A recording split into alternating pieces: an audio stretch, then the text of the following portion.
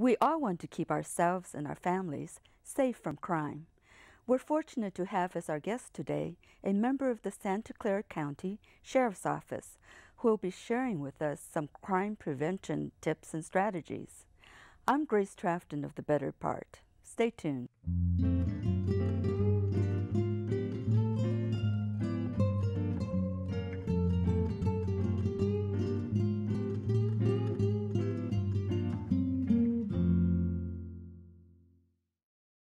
Sam Gor has been a deputy sheriff with the Santa Clara County Sheriff's Office for the past three years and has held prior positions in court security and patrol. Welcome, Sam. First, tell us about the uh, Santa Clara County Sheriff's Office. The Santa Clara County Sheriff's Office has been around since 1850, making it one of the oldest law enforcement agencies in California. We maintain various contracts with cities and agencies throughout the, the county, one of which is, is, is city contracts. We have a contract to provide law enforcement services to the city of Cupertino, the city of Saratoga, and the town of Los Altos Hills. We also have a contract with Valley Transportation Authority, which is the county's public public transit system, and also the riders on the public transit, and also the Santa Clara County State Parks, which includes uh, 17 parks, one of which is Henry Coe State Park, which is the largest State Park in the state of California. Uh, part of the sheriff's office is separated into two divisions. Uh, one division is what's called the custody division, which manages and supervises the jails that we have in the county and also the inmates. Uh, currently, we have about an average population of about 4,000 inmates, making it the fifth largest jail system in the state of California. Mm. On the other side of the sheriff's office, we have the enforcement side, so which includes regular deputies uh, and also patrol deputies and it also has other special specialized uh, units that include the the CERT team, which is also known as the SWAT team. We have a bomb squad. We have, a, we have a, also have a helicopter. We have a canine unit.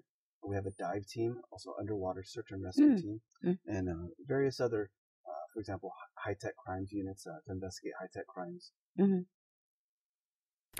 So that sounds very similar to the police department. So how does it differ from a police department? Right when you make the comparison with the sheriff's office and a police department, we're virtually the same. We have the same training, and we're also sworn to uphold the same same penal codes in, in California. Uh, the only difference is that there, there are some units that are different. For example, the sheriff's office has what's called a, a civil and warrants division, which is when somebody is, is found uh, in, in another state and, and the crime happened in our jurisdiction. What happens was that we have sheriff's deputies that will go to other states uh, back east and extradite uh, those people back here where they could be tried in court.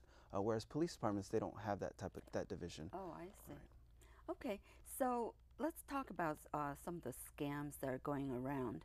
Uh, unfortunately, some criminals are targeting the elderly, who are the most vulnerable segment of our society. One of the most common one is the grandparent scam. Can you tell us about this one? Sure. The grandparent scam has been around for a few years. Uh, what happens kind of a short summary of what happens is is the bad guy would, would make a phone call. They'll obtain your phone your phone number through uh, either dumpster diving, which is going through your garbage, or just getting it online, or various other maybe social networking type type sites. So they'll get your phone number and they'll call you and they'll ask you, "Hi, Grandma, uh, this is your grandson," and in response, uh, the victim would say, "Oh, Johnny, is that you?" And so now they know more information to use, uh, basically to to try to trick you. So they use the, the, the name you know Johnny as the, their grandson because they gained that information, and they'll still they'll make up a story saying that maybe they're back east in a city and they've just been arrested, or they have to go to court and they have judge fees or attorney fees, or they'll make up some sort of some sort of a lie in order to to gain your trust and in the end get money from you. So what happens with with that after they gain your trust and they find out that you are able to be scammed? They'll they'll tell you directions on how to deliver money to them, and a lot of times they'll do what's called the gift card. Uh, so they'll they'll tell you directions to go to a local store. Uh, it's usually like a, a, Walgreens or a Rite Aid or maybe even a Walmart, and they'll ask you to purchase these gift cards, and they'll ask for the password on the back of the gift card uh, for you to send it to them. How is it that people will fall for this scam? Don't they recognize their grandson's voice on the phone? Right. A lot of times they'll they'll hit you at the most vulnerable moment. So which is maybe at two, three o'clock a.m. in the morning when you're sleeping. So Oh. they'll call you and they'll say, you know, Grandma, I need I need help. This you know this is an emergency, and they'll they'll play off the fear in. in in the worst fear of, of a grandparent's uh, nightmare is if their their grandkids are arrested or something happened to them bad, and and these scams can take on different types of stories. Uh, they could be saying that they're in a hospital and they need money for medical bills. Um, so a lot of these, what I recommend people to do if they do get one of these phone calls is do the research. Call call other family members to see if that if the grandson or and they can use different names for the relatives. It could be their son or it could be a, a cousin or a nephew or niece. Um, and at the end, if they really are unsure about it, call the sheriff's office and, and we could help you through this uh, scam. Or even just call the grandson to see whether he's actually back east or in Mexico in a jail. exactly. Now, there's also uh, lottery scams. We should probably remember that if it's too good to be true, it probably is.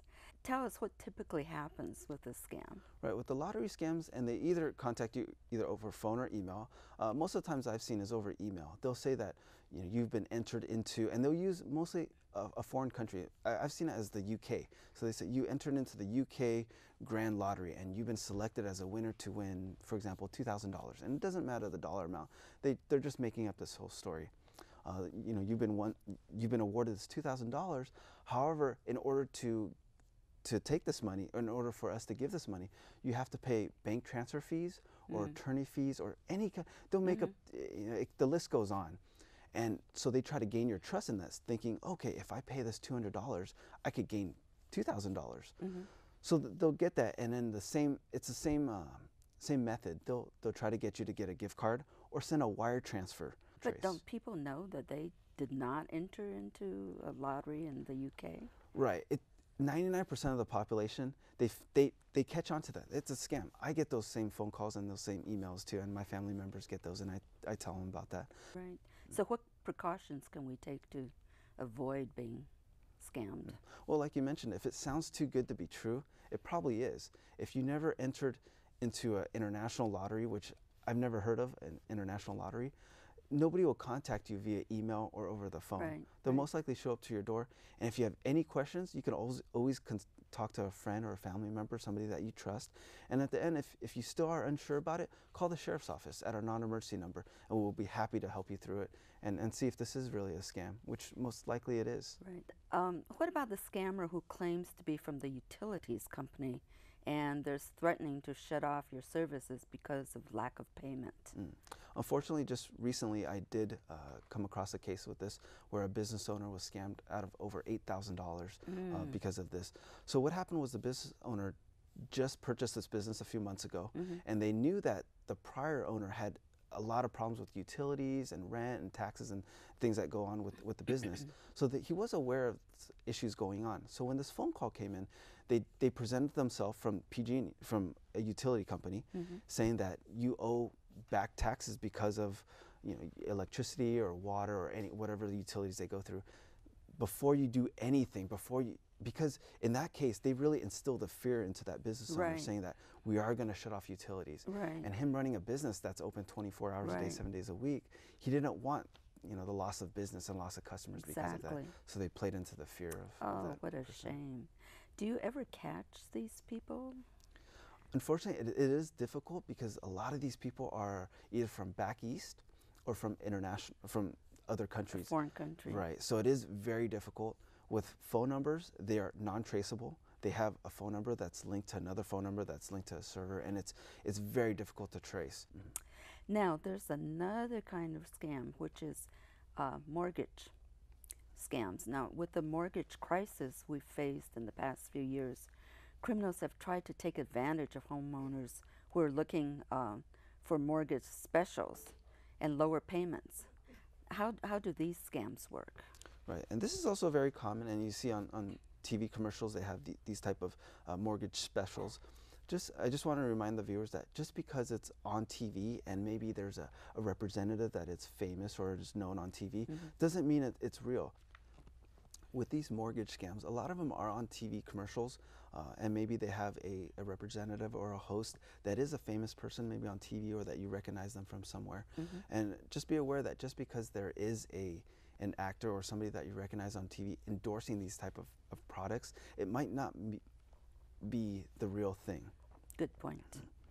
Um, so with these mortgage scams, they offer a lot of different different specials. For example, trying to lower your mortgage rates, mm-hmm. or try to try to get you to refinance in order to you know reverse mortgage and things mm-hmm. like that. Um, the first thing to do is you want to make sure that you you talk to your loan consultant where your original mortgage came from mm-hmm. and ask them about that. Uh, they're the ones that helped you in the in the first place, and you know they'll continue to help you. Um, a lot of times with these mortgage specials, they'll also ask for upfront fees. Ah. So they'll try to get you, well, in order, you know, they'll tell the victim, well, in order for us to help you, you have to pay, you know, for example, a couple hundred dollars in order, just for an upfront fee so that we can come out to your house and talk to you. Mm-hmm. But the reality is they won't come to your house. They just want your money. So once you wire the money or, or maybe you pay the money right. via ma- money order, um, there is no real person. It's just a person that, that came up with this idea and basically knows how to manipulate people over the phone. Mm-hmm. Um, another thing too is they'll also use a lot of fancy abbreviations mm. um, in order to, to try to trick you into thinking that they are from a, a government endorsed uh, company or, or a business entity. Um, and also, and a, th- a, thing that happened to me too is with my mortgage loan, it was also, and it's very common too, where mortgage loans are sold to other loan companies. Right. And so, uh, in the past few weeks, I, I did receive a, a, letter saying that your mortgage loan has been sold to an, this new company. Mm-hmm. And I never heard about this company, so I did my own research. I went online and I saw that it was a, a valid company. But for me to completely make sure that my my loan has been sold to this new company was I called my old mortgage loan company and confirmed with them ah. that in fact that it was sold to this and in this right. case it, it was so please make sure that your prior loan company has right. has already given you the heads up on, on what's happening with your loan. Yeah, that's really, really good advice. Now, let's move on to another scam. Um, another one that's fairly common is the IRS scam, some of which are particularly aggressive. Uh, tell us about these and how can we avoid getting victimized? Mm. When I talk to victims, a lot of times they're afraid of of two agencies. First of all, the law enforcement agency, mm-hmm. because no, obviously nobody wants to get in trouble uh, with the law mm-hmm. or be arrested. Mm-hmm. The second is the IRS. Right. So uh, when I talk to victims, they're always scared. Once they hear the word IRS, right. they know that they could, you know, possibly face face uh, federal charges or you know tax, what you see in the news. Mm-hmm. Um, but with IRS scams, it, it comes through the same. Um, they'll either be emailed or through the phone, and most likely, what I've been hearing lately is through the phone. Mm-hmm. And it always happens around tax time. Around, right. So you're looking at January through April, where everybody's getting ready to right. file their taxes, and they'll call you and say, you know, they'll make up a bogus story saying you haven't paid taxes or you haven't paid enough taxes uh, in the last few years and they already have a lot of your information because they did research or either online or did you know garbage diving through your garbage mm. and they know mm. your your name or your date of birth mm-hmm. and a lot of times they'll ask you maybe they have your name and they'll say grace uh, can you confirm your, your social security number with me because mm. i want to make sure that you are grace so what happens with the victim will, will give them the social security number. Now the bad guy has your name and social security number, and the bad guy will con- continually try to pull out more information mm-hmm. from you, saying, you know, we do also have to have you to confirm your date of birth. Can you confirm your date of birth? Because I'm not sure if you are Grace, because this is over the phone.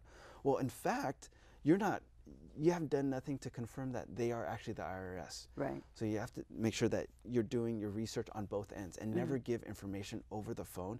A lot of times they'll, they'll ask you to get these money orders and then send it to them. Um, and I can give you more information on how to verify that if these money orders are scams or, or the real thing. Um, and in one ca- the last case that I had, I had a victim call the sheriff's office because she was smart. She knew that this was a scam, but she just wanted to see how much information she can get from from the scammer that was on the phone. So she was, in fact, just playing around or toying with them. Um, and but I recommend if you get a phone call like this, just hang up. And if they mm. call again, just right. hang up again. And then if, if they continuously harass you with phone calls, call the sheriff's office and the deputy can and talk to you about how to stop these these phone calls from happening. So in this this case that we had from this victim, uh, she mentioned that she, she, she was kind of digging into the, the scammer just mm-hmm. to find out, well, you know, what she asked the question, well, what what tax what tax laws am I violating? Mm-hmm. And the scammer said, well, ma'am, you are in violation of tax law number one, number two, and number three. So the victim found that oh, that was interesting. Uh, can you explain what those tax laws are? What is tax law one, two, and three? Which just mm-hmm. sounds very generic to us. Right, right. And the scammer said, well, it's, you know, tax law number one is owing back taxes. Tax law number two is not paying enough taxes in the year 2013. And they just come up with, and, and mm-hmm. the victim told me that she could hear the uneasiness about his voice because it, it, apparently to her it didn't seem like he he was rehearsed in this type of how to answer. Right. What, um, let's move on to a different kind of scam, which is um, involving the immigration services. That's been immigration has been in the news a lot lately. So, what should people look for, um, look out for with immigration problems? Right. Our county has a population population of 1.8 million people, which that population also swells during the daytime because of commuters coming to our county in the heart of Silicon Valley. So we have a population of over 2 million people during the day. Um, and a lot of this population comes from overseas. We have a, lot, a large immigrant population. Uh, according to the Registrar of Voters, we do have, they, they print election ballots in, in five different languages.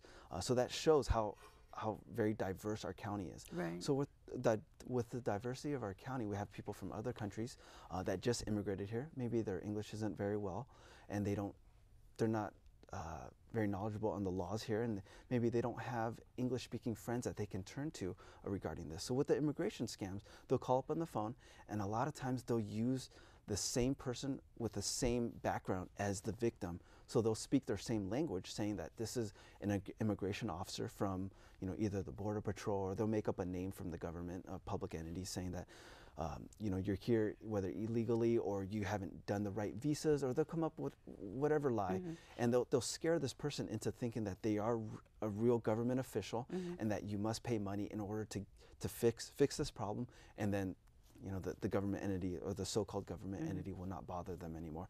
And it goes through the same. They'll ask them to go get a gift card or they'll send them, get them to send money through a wire transfer through the bank. Mm. So the, the person calling is speaking the language. Right, of, I've had person. right. I've had instances from victims saying that this person was speaking the same. It could. It was the same village. Uh, same. Sorry, it's the same language and also the same dialect. Ah. That, so it was amazing. So this person really was felt at ease because it was right. somebody from their hometown. Right. So I understand that there's also romance schemes. Now, how does that work? Romance schemes, uh, I came across this last year. So there's a lot of dating websites, um, either for, for middle-aged people or also senior citizens that are looking for a dating relationship or, or friendship online. So there are a lot of romance uh, websites out there and a lot of international websites uh, that, that try to contact international people with, with Americans. And so what these romance scams is they'll, they'll put up fake pictures. So for example, if there's an American male here and they receive an email or they're, they're on this website and they, they start chatting with somebody and this person says that maybe they're in another country and they start sending pictures and these pictures look real and they're most likely of a, of a very pretty in this case a very pretty woman and they're saying that you know their, their name is Jenny and, and you know they're looking for marriage and they want to mm. have kids and basically they're just feeding into what the victim is wanting. So a lot of these websites these dating websites the victim already put a profile as far as what they're interested in. And these bad guys they'll read the profile and they'll think oh, okay this person likes cars for example or or is, they're looking for marriage. So they'll play into that that that vulnerability in the victim saying but I need money in order for me to apply for a visa from my country. And then also and once they get that, they'll also play into the, the vulnerability vulnerability of trying to say, you know, I need to buy an airplane ticket because I want to meet mm, you. And they'll right. continuously send pictures which are right. false. Right. And a lot of times, even though you believe that they're talking to a female, a lot of times it's, it's a male person internationally in yeah. another form. So let's talk about identity theft because it's one of the fastest growing crimes in the U.S. with more than 13 million victims each year. So, what can we do to prevent this from happening to us? Hmm. ID theft is one of the fastest growing crimes in the, in the US.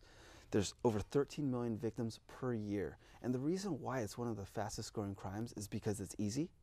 It can be done remotely, meaning the person doesn't have to be here to steal your money.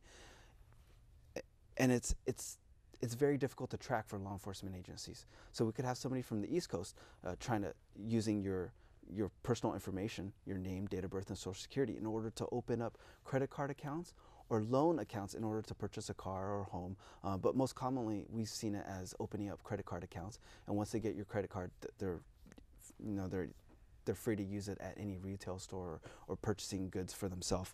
Um, so what I what I tell people is to prevent this from happening by running a credit uh, credit check through the, th the through the three main bureaus uh, in the U.S. and the three main bureaus are Experian, uh, TransUnion, and Equifax, and those can all be found online. Mm -hmm. in fact, I just ran my ran my own name and my own personal information mm -hmm. to run a credit history check on myself and my wife, just to make sure that all the credit card accounts that are open in my name are in fact opened by myself or my wife. Um, another thing that you can do to open to check your credit history is to go on on the website annualcreditreport.com. Mm -hmm. that is the only federally mandated website where people can use and get free credit reports. So it's federally mandated that you're allowed one free credit report mm -hmm. per year through this website. Mm -hmm through each of the credit bureaus, the, the three credit bureaus mm -hmm. that I mentioned. Uh, so technically you can do a credit check on yourself every four months uh, through those, uh, just selecting a, a different mm-hmm. credit -hmm. bureau. And there's also a phone number. It's the 1-877-322-8228. Mm -hmm. And that's the annualcreditreport.com uh, website that people can contact in order to get a free credit report, uh, either mailed to them or, or sent to them uh, via email. Mm -hmm. Now, do you think it's worthwhile to sign up for one of the identity theft pr protection services? Mm. With these with these services, they they can't do anything where a person can. Mm. So everything that they can provide you, a, a person can do it themselves. It's just the ease and the time. So maybe you're, you know, if you're busy working a lot and you don't have a lot of time, these services might be good. Mm -hmm. But mm-hmm. if you have a lot of time and you want to do it yourself, you can do that too. And it's there's it's the same thing. What they'll do is they'll they can put fraud alerts on your accounts to mm. see if there's if there's any uh, new credit card accounts open or loan mm -hmm. accounts open. They'll contact you to make sure that you opened it and not somebody else mm -hmm. from overseas or from another part of part of the country. It, it's either way, um, but a lot of times these services will charge upfront fees. So just be prepared if and if that outweighs the the time involved for you to to do a credit check on yourself or put a fraud alert on with the credit bureaus, then it might be might be a good idea. And uh, what about mail theft? That's still happening. Right. Mail theft is very common just because it's easy.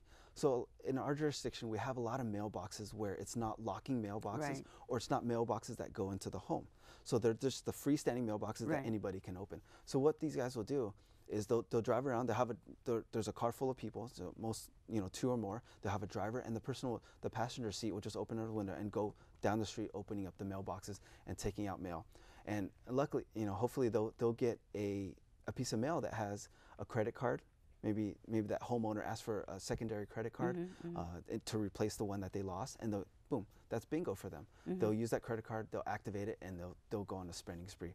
Um, and also they'll, they'll also obtain uh, other personal information like your social security number mm -hmm. and your date of birth and also other maybe other letters from family members so they could find out personal information Another problem people may face is home and vehicle burglaries. What should we be looking out for, and how do we report any suspicious activity? What I advise people to do is because they live in the area, they know who belongs where and neighbors and things like that. If they see a suspicious, suspicious car that doesn't belong in the area or sus suspicious people that are walking in and out of a maybe a side gate or, or hanging out in the front of a house where they know that neighbors maybe at work or on vacation, please report that. Okay. Also note down any other things that you see, maybe a car license plate, the make and model and color of the vehicle, what the, what the subjects are doing. Are they just standing there? Or do they have tools? Maybe they're you know a gardening crew or things like that. Or are they walking in the back of the house? So if they're walking in back in the back of the house, it's it's a big red flag for us. So please report that okay. and tell the dispatch that what they see. Basically, paint the picture for for deputies that are arriving on scene. So be really aware of what's going on. Exactly. And what are some of the things that we can do to protect our our home and our property? There's numerous things that you can do to protect your home. First of all, there's an alarm system that, that people can install. Mm -hmm. um, but remember, it's only as, as strong as, as when you use it. So there's a lot of homeowners that maybe are victims of burglary, home burglaries that forget to turn on the alarm or, mm. or, maybe just they're in a rush to go to work so they right. don't turn on the alarm. So the alarm system's no good. It's basically your house doesn't have an alarm. So that's the first thing. Uh, the second thing is maybe installing a, a surveillance or a security camera. I know I have that in my house because I was also a victim of a home burglary oh, really? uh, a few years back. And um, the third thing to do is to is to get to know your neighbors or get to Right. know of a, a community neighborhood watch Right. program. I think that's the best way. I'm, I have a close relationship with my neighbor that lives right next to me, and I told him Mhm. that when I was going on vacation, hey, you know, I'm going on vacation. Right. You know, if something happens, here's my phone number. Feel free to give me a call, and if, if there's something that's really out of the ordinary, please do call the police department and, or the sheriff's office and, and let them know that what's happening, uh, so that you know he can help me look over uh, my property.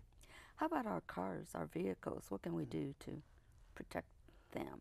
Right. So when you park your vehicle, make sure you park in a, well-lit area, in a, in a common area where there's a lot of people passing by. Mhm. Uh, on the vehicle burglaries that I've been to, or a lot of my partners have been on, uh, the vehicles have always been parked in secluded areas where maybe in the corner of a lot. Mhm. Maybe there's shade over there. So, uh, Mhm. you know, myself as a driver too, I like to park in the shade. Right. But also, when you leave your car, make sure you lock all your Lock, doors, right. roll up all the windows, and also hide valuables. Or the best thing to do is take your valuables with you.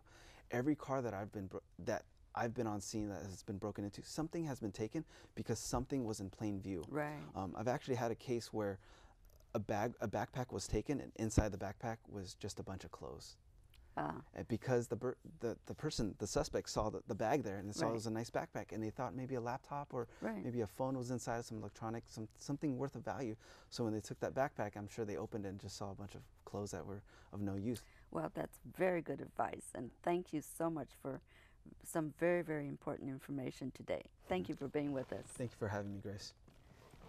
I hope you found today's program informative and be sure to remember to watch our shows on YouTube. Thank you for being with us today and be safe. See you next week. Bye bye.